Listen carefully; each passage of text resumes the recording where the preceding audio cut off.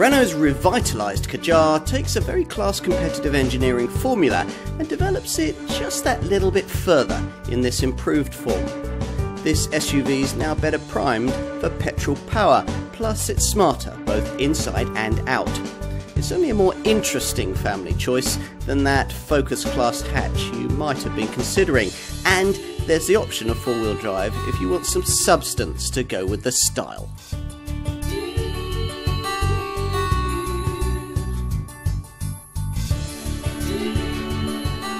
Renault's Kadjar is a family sized SUV that's smart, sensible, and in its way quite aspirational. Mindful of the close competition in this segment, the French brand revised it significantly in late 2018, and it's that improved version we're going to test here. It took Renault a long time to get on board with a properly class competitive mid sized family SUV. This Kadjar model, the brand's first such contender, has only been around since 2015 when it was launched as the family hatch based big brother to the French maker's popular Super Mini based Captur crossover. Prior to that, the French maker's attempts to make real inroads in the family section of the SUV segment had proved notably unsuccessful. We had various off road orientated versions of the Scenic MPV, plus there was the unloved first generation Koleos SUV launched in 2007 but soon withdrawn from sale. That year, 2007, was when Renault was shown what that Koleos model ought to have been. Their alliance partner Nissan launched a crossover called the Qashqai that quickly came to define family SUV motoring. And when that car was redesigned in 2014, Renault had another go at creating their own version of it. The Kadjar was the result. This time, the Gallic maker managed to deliver a contender much closer to what the market wanted. And as a result, over 450,000 Kadjars were sold in over 50 countries in this model's first four years on sale. Buyers were particularly taken by the smart looks, the comfort orientated demeanour, and the fact that a four wheel drive option was much more affordable than it was on a Qashqai. They weren't quite so enamoured by the relative inefficiency of the ageing 1.2 litre TCE turbo unit provided to power petrol versions, which was a problem given the market's increasing militant preference against diesels. On top of that, by 2018, improvements were also needed to match more recently launched segment rivals in areas like cabin quality, media connectivity, and safety provision. Renault claims to have addressed all of these things with this much improved Kadjar model. Plus, there are upgraded diesel engines and smarter exterior looks. Will it all be enough to keep this car class competitive? Let's find out.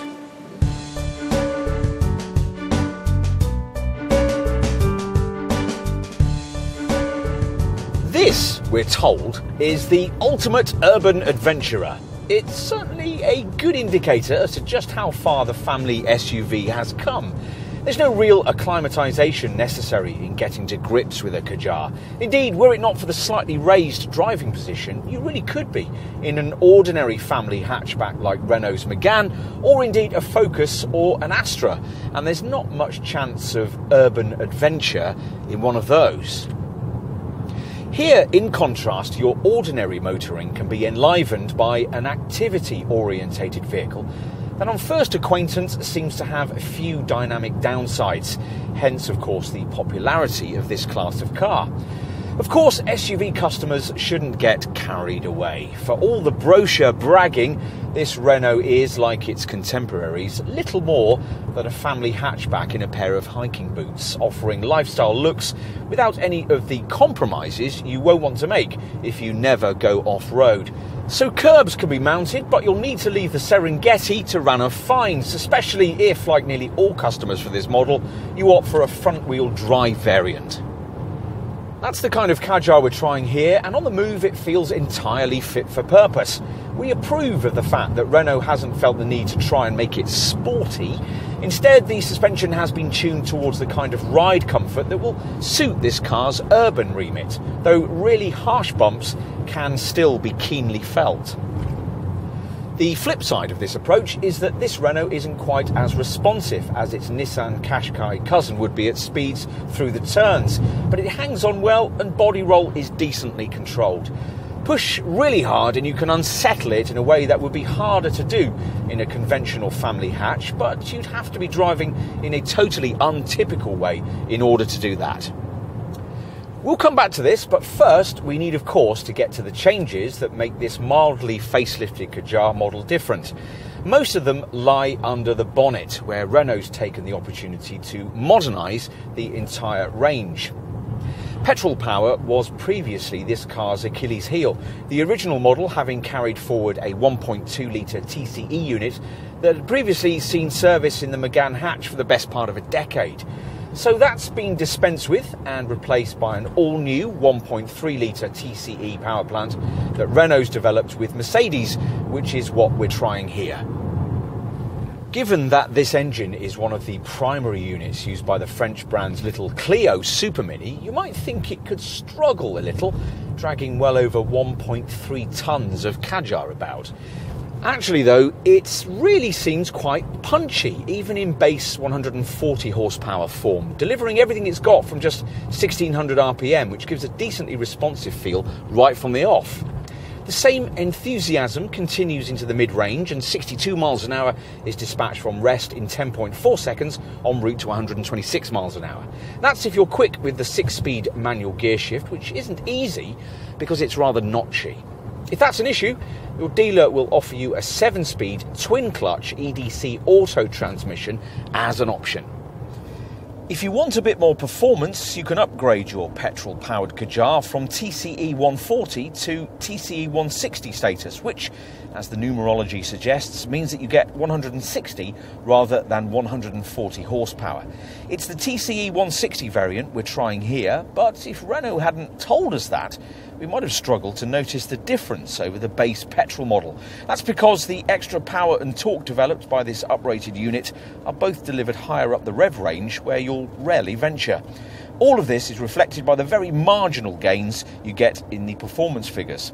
The rest to 62 mile an hour sprint time in this TCE 160 model is just half a second quicker than the base variant, and top speed increases by only 4 miles an hour.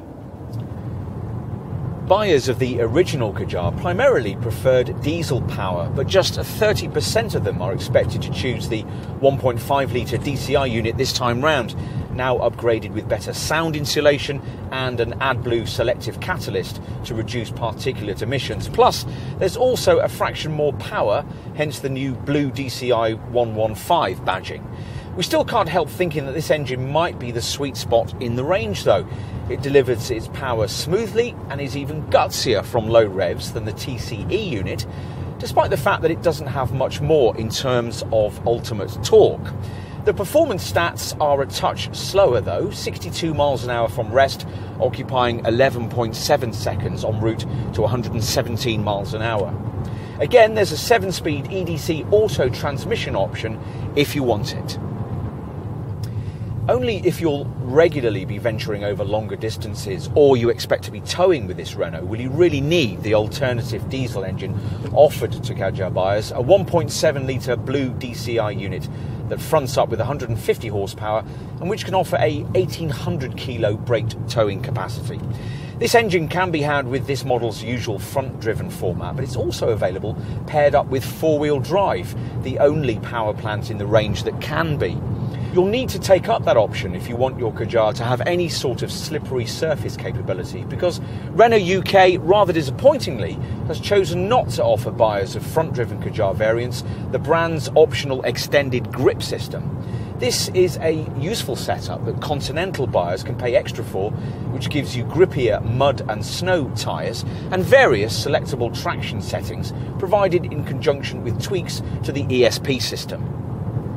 Of course, a Kadjar equipped with four wheel drive is much more capable than that, and in fact, a lot more capable than you might expect it to be, courtesy of a 4x4 setup borrowed from Renault's alliance partner Nissan, who've deleted it from their rival Qashqai model.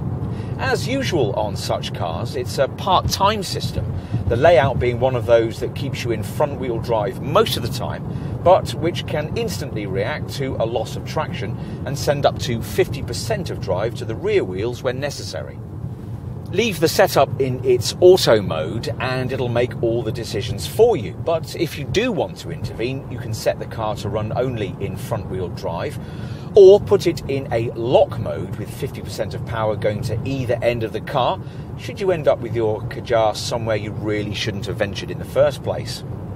In that scenario, you'll have a better chance of extricating yourself than most mid sized SUVs would offer, thanks to this car's 200mm of ground clearance and reasonable approach and departure angles of 18 and 25 degrees, respectively. If you can stretch to the blue DCI 150 engine, one of the advantages of doing so is that this variant gets much more sophisticated independent rear suspension rather than the more conventional twist beam setup of the other models in the range. As we suggested earlier, though, even the supposedly cruder damping package we're trying here delivers supple fluidity over uneven surfaces. In other words, you'll like it on the school run even with the big 19 inch alloy wheels that come fitted to most models. This Renault works well on highway trips too, thanks to decent levels of refinement.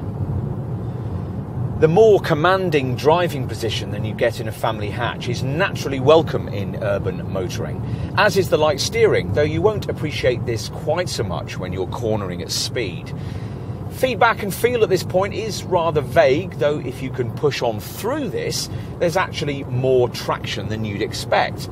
That's thanks in part to what Renault calls understeer logic control, basically a torque vectoring system that applies the brakes to individual wheels to help the car hold its line through the turns. As suggested earlier, this car still doesn't change direction as swiftly as an ordinary family hatch, but as is likely you don't care much about that, then what's provided here represents a very acceptable dynamic compromise. If you're a typical Kadjar buyer, that's probably all you'll really want.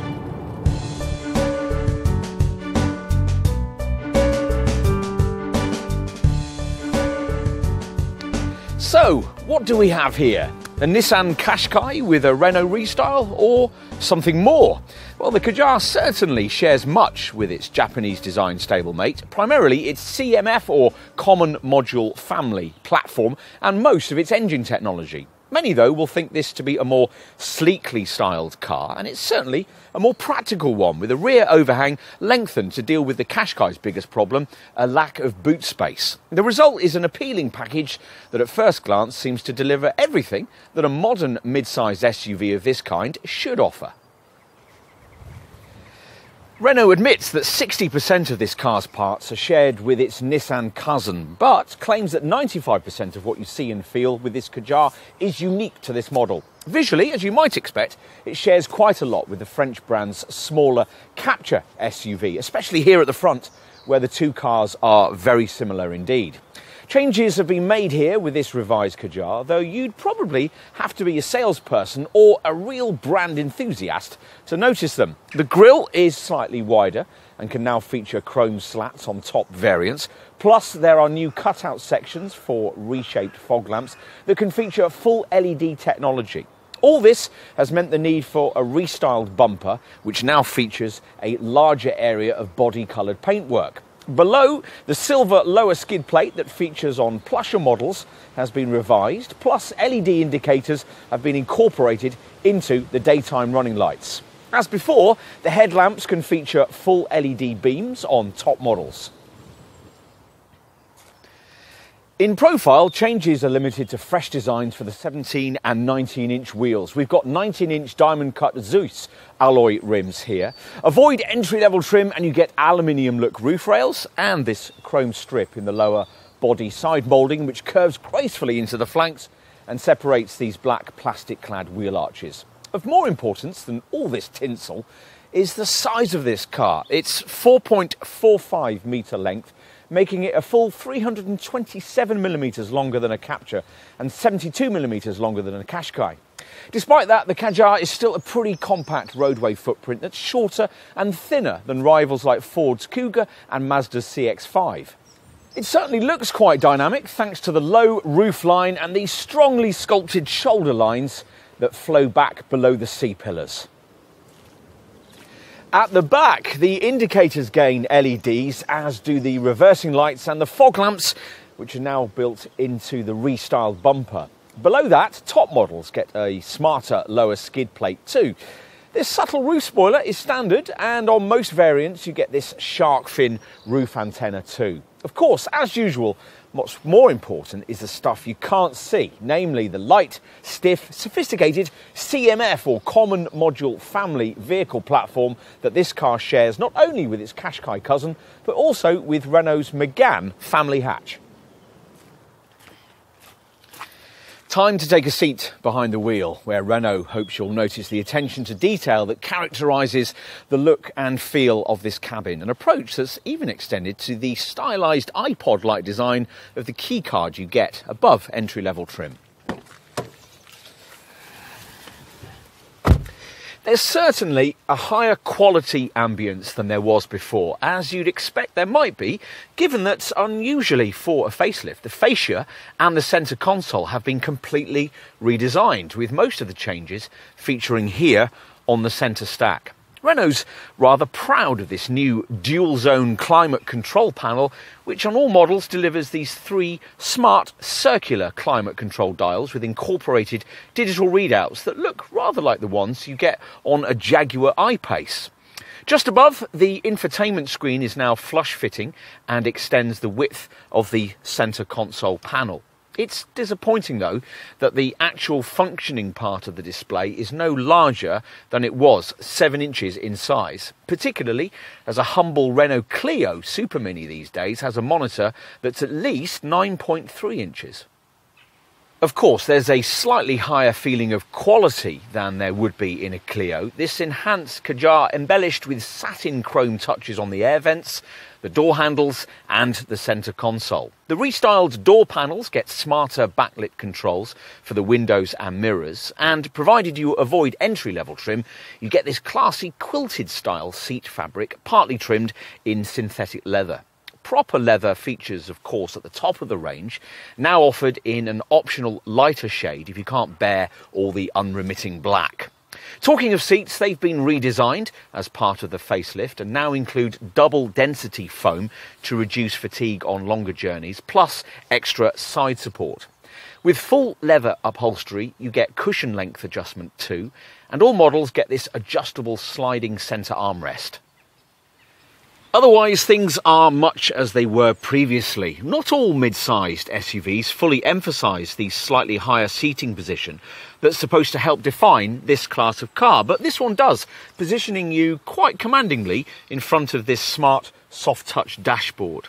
As before, on all variants, through the three spoke wheel, you view a 7 inch TFT colour instrument screen that partly replaces conventional dials and can be configured in either of four different display modes. The first two layouts show a rev counter in either white or red and give you a digital speedo. The third option gives you an eco driving meter, and the fourth prioritises an analog style speedometer. It would be much more configurable if the centre digital screen could be stretched the width of the instrument binnacle. Still, this is what we've got. Anything this display can't tell you will probably be covered off by the 7 inch colour infotainment monitor we mentioned earlier, which now features Apple CarPlay and Android Auto smartphone mirroring as standard across the range. Provided you avoid base trim, you get Renault's R-Link 2 setup, which gives the monitor touchscreen functionality, voice control, navigation and TomTom Live services for things like European mapping and speed camera locations, along with a useful Driving Eco 2 menu that grades you on the efficiency of your progress and gives you economy tips. R-Link also allows you to use text-to-speak messaging and surf the internet so that you can download a range of Renault-sourced apps for things like email, Facebook, Twitter news and fuel prices. That all works quite well, but we still find this infotainment screen to be positioned a touch lower down the fascia than we would ideally like. You have to take your eyes off the road to use it. And we miss the physical volume knob that was provided with the previous setup. While we're grousing, the gear lever feels a little cheap. There's a chintzy chime at startup. The start button is obscured by the indicator stalk, and it seems a bit mean that entry level variants have to do without driver's seat lumbar support. Otherwise, though, there are few cabin issues. The materials used around the cabin are quite nice, though hard. More brittle plastics do inevitably feature lower down the dash. Build quality from the Spanish factory seems reasonable, and practicality certainly seem to have been carefully considered. Renault claiming that there's over 30 litres of interior storage room, which means plenty of spaces to store phones, coffee cups, and smaller bottles. The door bins are larger on this revised Kadjar, now big enough to take a 1.5 litre bottle. And glory be, we've at last got a volume brand French made family model that's managed to make the transition to right hand drive without donating half of its glove box space to a fuse box. At the bottom of the centre stack is a storage area, presumably intended for your phone, hence the provision of 12 volt aux in and twin USB ports. There's a coin tray behind the gear lever and twin cup holders behind that. The top of the sliding armrest mentioned earlier lifts to reveal a drop down tray with a pen clip, while beneath that is a deep box with a slot for credit cards though Renault hasn't thought to cool it for drinks or add in any connectivity ports that would allow you to charge devices away from prying eyes. There's no overhead compartment for your sunglasses, but if you avoid entry level trim, you do get a ticket flap and an illuminated mirror built into the driver's sun visor. Time to try the rear. Now, as usual in a car of this kind, it's comfortable for two adults, but a little bit of a squash for three. Headroom, though, is fine, unless you've a top model fitted with Renault's fixed panoramic roof, in which case really tall folk might be a touch restricted. If you really do need to take three adults back here, it's easier than is the case in some rivals thanks to this low centre transmission tunnel and the fact that the middle part of the bench doesn't force you to sit on an uncomfortably raised section of foam. A little disappointingly, this rear bench doesn't slide back and forth in the way that it does on Renault's smaller Captur SUV, nor does the backrest recline. These omissions couldn't be corrected as part of the facelift, but on most variants, Renault has added the centre air vents and a couple of twin USB ports for rear seat folk, both things omitted on many rivals. Seat back pockets, small door bins, coin cubbies in the door pulls, and a centre armrest with twin cup holders are also provided. Overall, it's certainly slightly more spacious back here than it is in this car's Qashqai cousin, though that has more to do with seat sculpting rather than the provision of any extra legroom. Despite this Renault's longer bodywork, the two cars actually have exactly the same wheelbase length. Where this car's extra body length does pay dividends is out back. Now, rather surprisingly, there's still no option for a powered tailgate. Once you pull up the hatch, instead of the slightly restricted 430 litre boot you get in that Nissan model, there's a 472 litre trunk on offer here, once you get your stuff over the rather high boot lip. The total provided is about average for the class, significantly more than you'd get in, say, a Ford Kuga, but quite a bit less space than you'd find in something like a Mazda CX5 or a Volkswagen Tiguan. In terms of the weight of the items you can carry, Renault quotes a payload of 549 kilograms. And you can make the most of it if you avoid entry level trim and get yourself a Kadjar with this neat multi positional boot floor. As you can see, it's divided into a couple of parts which can be repositioned at a lower level or clipped into slots so that you can separate different elements of your load across the boot floor. There's no more significant storage space beneath the boot floor, despite the fact that Renault doesn't provide a standard spare wheel. Two bag hooks are provided, but there's only a couple of tie down points. Renault doesn't offer a ski hatch either or a 40 20 40 rear backrest folding option. What you can have though, providing you avoid entry level trim, is a feature quite a few rivals make you do without.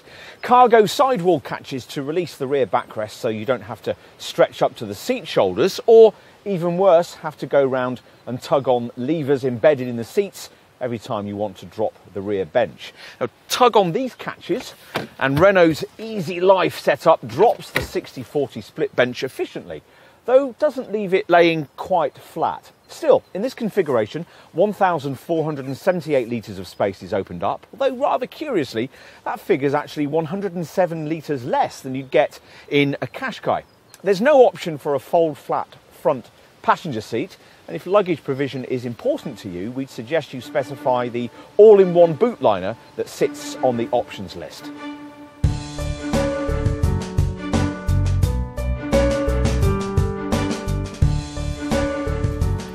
Kadjar pricing sits in the 21 to 30,000 pound bracket. In other words, exactly what you'd pay for most other mid-sized family hatch-based SUV models of this kind in the Qashqai class. Virtually all Kadjars come in front-driven only form and there are four decently equipped trim levels. Play, this iconic spec model, which probably represents the sweet spot in the range, then S Edition and top GT line. Most buyers will be choosing between the base 1.3 litre TCE 140 petrol engine and the 1.5 litre blue DCI 115 diesel. There's a £1,900 premium to go from one to the other. Whichever unit you decide upon, you'll be offered the option of spending £1,500 more to get your car with EDC auto transmission.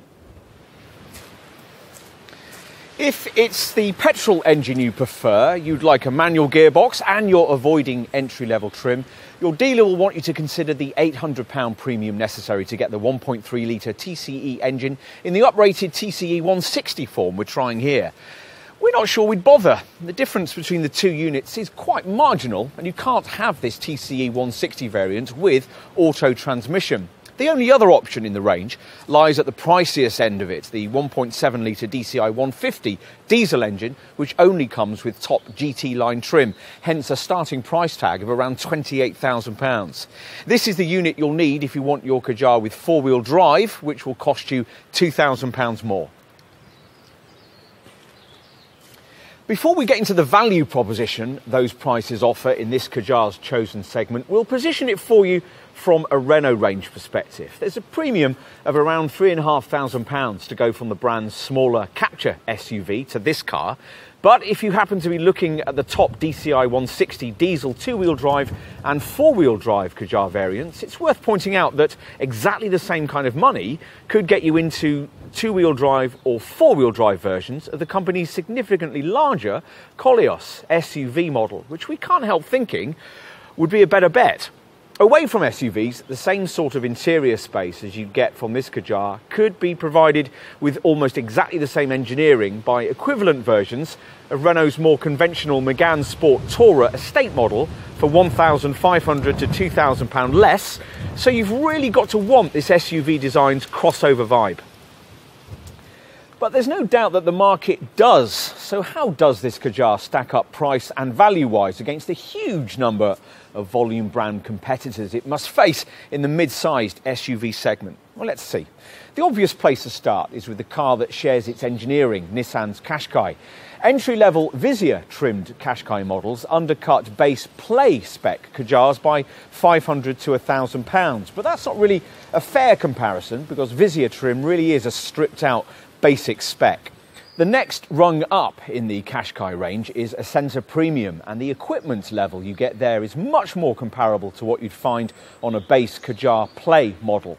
If that's your point of comparison, you'll find that a Kadjar could save you £2,000 to £2,500 over a Qashqai, which really is a decent saving, particularly as this Renault has a larger boot.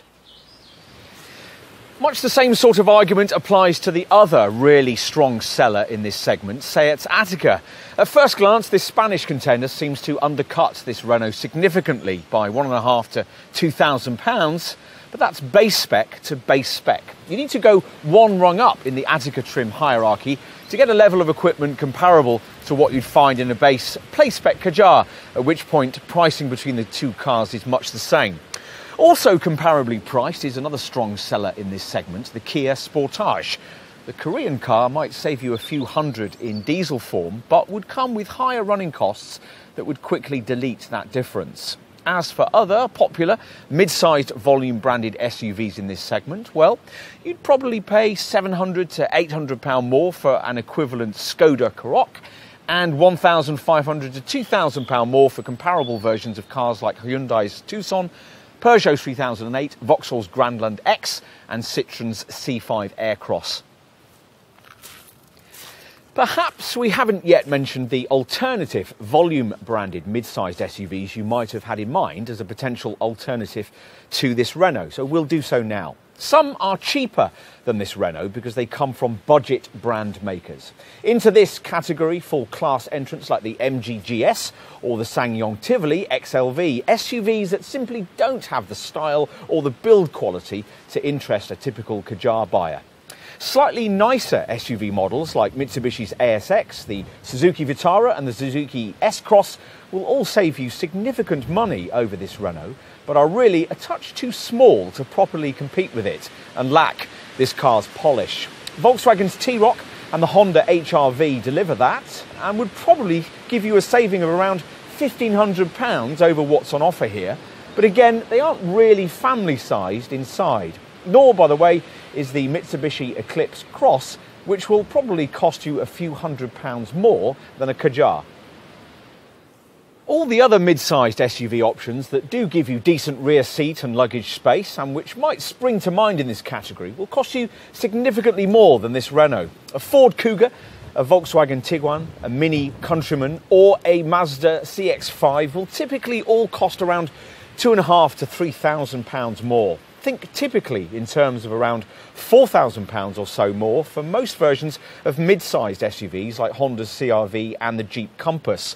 A Toyota RAV4, now only offered in hybrid form, starts from up around £30,000 these days, and premium branded mid sized SUV models in this category, which tend to be smaller than this Renault inside, typically sit in the 27 to 35,000 pound bracket. Cars like the Mercedes GLA the Volvo XC40, the Audi Q3, the BMW X1, and the Lexus UX.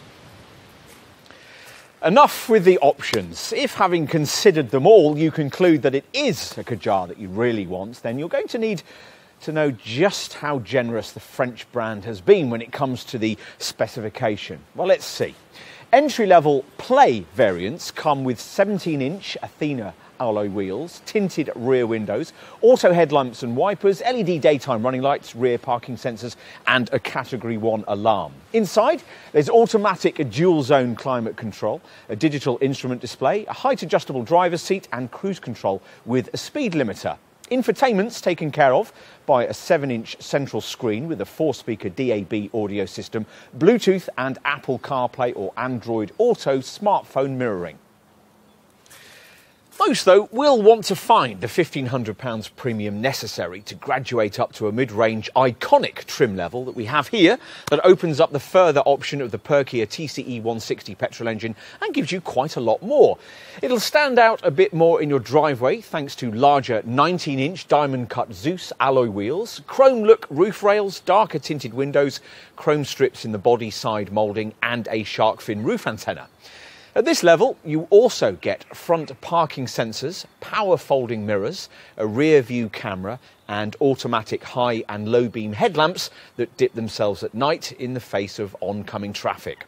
Inside, in iconic variants, stitched synthetic leather lines the steering wheel and combines with cloth trim on the seats. The driver's seat gets lumbar adjustment, while the front passenger seat gains height adjustment. Rear seat folk gain air vents and a couple of USB ports, plus the infotainment system gets a big upgrade to R-Link 2 status, which means it comes with touchscreen functionality and gains satellite navigation, voice control, TomTom Live services, and higher quality Arkamys 3D sound. There are a couple of important practical additions too at this level the multi positional boot floor and the Easy Life quick folding rear seats, which can be operated by catches on the side walls of the luggage bay. If you want more, your next option is one of the S edition models, recognisable by their full LED headlamps, satin grey front and rear skid plates, and LED front fog lamps that sit in chromed surrounds. Inside, S edition variants gain dark blue 3D stitching for the part synthetic leather seats, plus a fixed glass panoramic sunroof and an auto dimming rear view mirror. Finally, at the very top of the range, there's GT line trim, which, as we said, is what you'll need if you want the blue DCI 150 engine and or four-wheel drive. Here you get even more stylish Poseidon design alloy wheels, smarter adamantium trimmed front and rear skid plates, and chrome trimming for the front grille slats. Inside, there's real leather for the steering wheel, and for seats that at the front feature heating and a cushion length extender. Plus, there's electric adjustment for the driver's seat, a hands free parking system that automatically steers your Kadjar into spaces, and an upgraded seven speaker Bose audio system. And some extra camera driven safety features we'll get to in a moment. On to options. Now, unlike the premium brands, Renault doesn't offer hundreds of extra cost features, preferring that customers wanting more kit should simply move up a trim grade. However, there are some extras your dealer will want you to consider. Paintwork is almost certainly something you'll be paying extra for since the only colour that comes as standard is solid glacier white. A range of extra cost metallic colours is available, or for a fraction more, you can also opt for even brighter ID paint, like the flame red shade we have here. Three fresh colours, Oural Green, Iron Blue, and Highland Grey, have joined the paint shade range. The other thing you really should pay extra for is an emergency space saver spare wheel. That's if you don't want to be stuck by the side of the road fiddling with a tyre inflation kit in the event of a puncture, because that's all that's provided as standard. What else? Well, you might like the idea of luxury touches like sports pedals, illuminated door sill plates, or premium carpet mats. And if you want, you can add a wireless phone charger and a Kenwood dash cam that starts recording as soon as the ignition's turned on. On GT line variants, a lighter colour of leather upholstery can also be optioned in. You might also be interested in a range of practical extras, holders that clip onto the backs of the front seat headrests, onto which you can clip tablets to entertain the kids in the back, or maybe one of the boot liners. You can get one with an end that folds out to protect the bumper lip. There's a pet pack that combines a boot liner with a partition grille and an Explore pack that combines a retractable tow bar and a Euro ride carrier which can take two bikes. Plus, you can add a roof box if you want one. On to safety features. Like other Renaults, this one achieved a full five star Euro NCAP safety rating, helped by a tough, rigid body shell construction and a pretty complete roster of safety provision. That Euro NCAP rating, though, was achieved in 2015 before that organisation started docking points away from cars that didn't include autonomous braking as a standard fit item across the range. We're disappointed that Renault hasn't taken the opportunity to do this here. In fact, you can't have autonomous braking at all on a Kadjar unless you go for pricey top spec GT line trim where it's standard. If you're interested in knowing about current tech camera driven safety features you can have, well, there aren't any with entry level play spec, but if you can afford to move up a rung to this mid range iconic model, then you get lane departure warning and, as we mentioned earlier, an automatic high and low beam system for the headlamps. But that's it until you get to GT line spec, which, as well as the AEBS or Active Emergency Braking System, gets a blind spot warning setup which alerts you if you're about to dangerously pull out into the path of an oncoming vehicle. GT line variants also get a new addition for this revised model a clever overspeed feature that works with traffic sign recognition and the vehicle speed limiter, ensuring that you don't exceed the limit of the speed sign you just passed. Otherwise, safety provision is limited to pretty standard stuff. All models get twin front, side, and curtain airbags, though no driver's knee bag, plus the usual electronic aids for braking, traction, and stability control. Isofix child seat fastenings, tyre pressure monitoring, and hill start assist to stop you from drifting backwards on uphill junctions are all additional features that make the team sheet.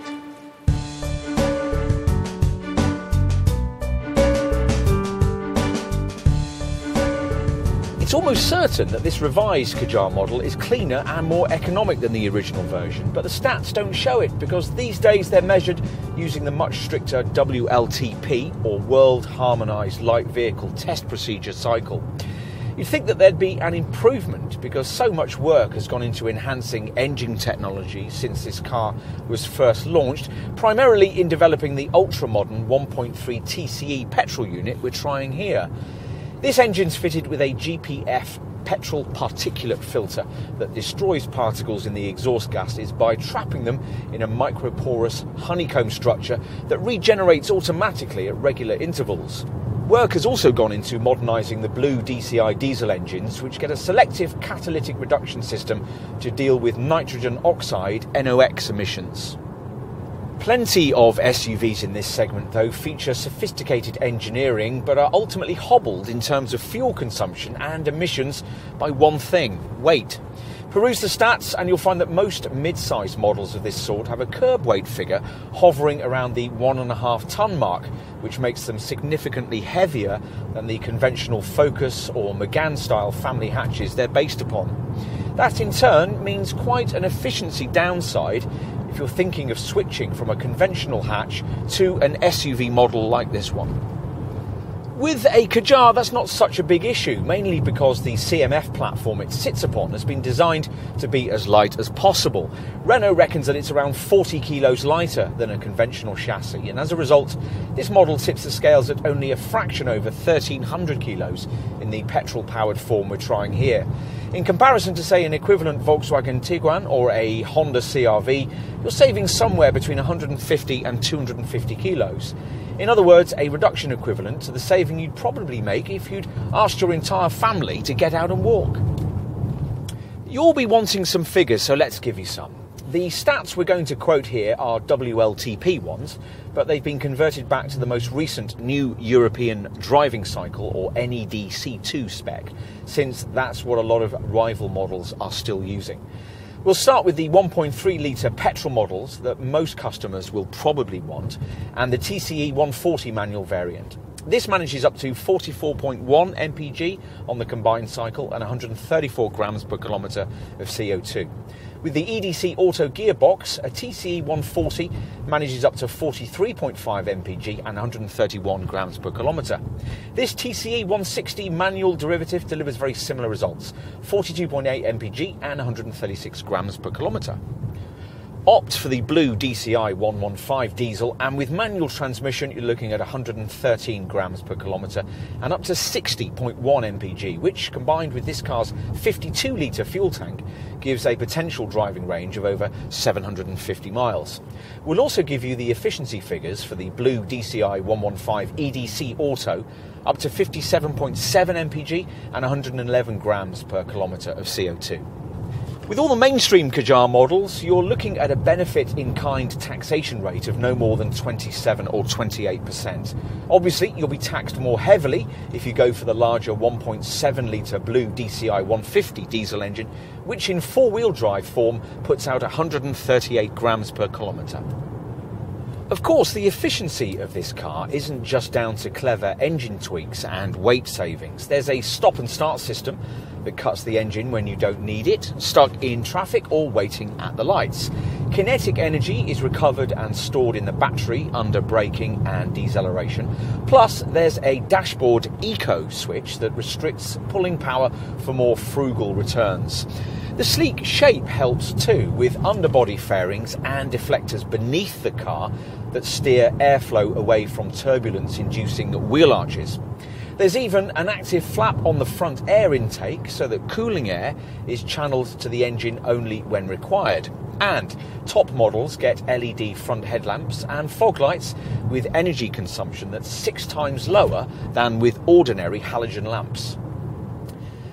Drivers need to do their part too. You might want to configure the TFT dashboard screen in its Style 3 economy setting, which gives you a bracketed eco section in the 9 o'clock to 11 o'clock section of the instrument gauge. Stay in that and you'll maximise economy.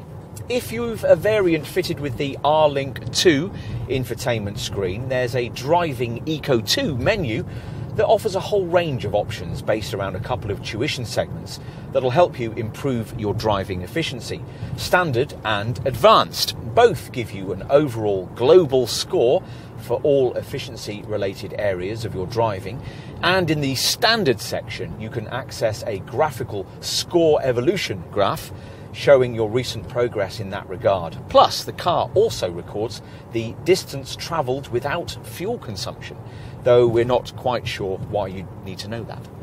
In the advanced section, it's a bit simpler with straightforward star scorings for your efforts in terms of acceleration, gear changing, and anticipation. You also get the option to access some so called eco coaching tips, though personally we wouldn't because some of them are rather blindingly obvious. For example, try not to accelerate too hard, you will not lose much time and you will save a lot of fuel. Enough on efficiency figures, what about the other costs of running this car? Depreciation, for example. We might be surprised by how well the Kadjar does here. Industry experts CAP reckon that after three years and 60,000 miles, a typical Kadjar TCE 160 iconic variant, like the one we're trying here, will still be worth £8,850, which is very class competitive. Buyers of this car may well make some savings in insurance costs too. The best you can do is get a 1.5 litre blue DCI 115 version of this model, rated a Group 17E. It's 19E or 20E for the base TCE 140 petrol model, or Group 21E for the TCE 160 petrol variant we're trying here. The four year warranty looks good too, given that most rivals restrict you to three year cover. Bear in mind though that the final two years of the policy restrict you to 100,000 miles. You get four years of UK emergency breakdown recovery and three years worth of European cover as part of this package. Finally, scheduled servicing is every 12 months or 18,000 miles for diesels and every 24 months or 18,000 miles for petrol variants. As usual, prepaid servicing plans are available. It'll certainly help that the ecological oil filter needs replacing only every 18,000 miles and the timing chain is maintenance free. The timing belt requires changing only every 100,000 miles, and the close coupled diesel particulate filter has been designed to last the lifetime of the car.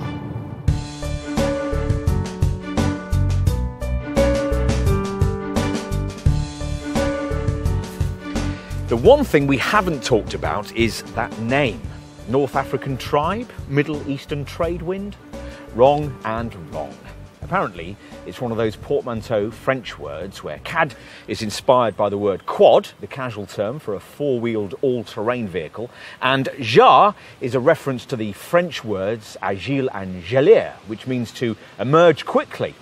A touch ironic that, given that this French brand has taken so long to establish itself in this profitable family crossover segment.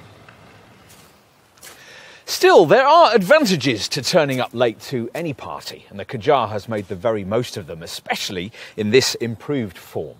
Building on the market credibility the brand has already earned with its smaller Captur crossover model, it takes pretty much everything that's good about the segment leading Nissan Qashqai and clothes those elements in a sleek, slightly more spacious package that's a little more affordably priced. Other competitors aren't as easy on the eye, and many struggle to match this Renault when it comes to issues like running costs and practicality. As for the changes made to this revised version, well, the important news is that the petrol power previously a weak link in this model range, is now very much a strength. Perhaps just as importantly, from a showroom point of view, the cabin, which previously struggled to justify the price of upper spec models, now feels wholly appropriate to this car's price point. Are there issues? Well, it's true that this car could certainly still be a little sharper to drive, but that's partly down to the fact that, rather refreshingly, Renault has tuned the handling for comfort rather than some misguided sense of perceived sportiness. Families will appreciate that, we think, and the few that want to occasionally venture off tarmac will be relieved to find that the option of four wheel drive, now deleted on this car's Qashqai cousin, has been retained in the Kadjar range. In summary, well, you could say that it would have been difficult for Renault to fail with this SUV, given the proven underpinnings it's based upon. For a decade, though, this French brand had the right ingredients for a model like this, but failed to blend them together into an appropriate car for the crossover crowd. Now that it has, the brand was never going to risk spoiling things by making too many far reaching changes. But the updates made here have been timely and well judged. This Kadjar may not be the ultimate urban adventurer, the ads claim, but it's the kind of car that really could add a more appealing dimension to family travel.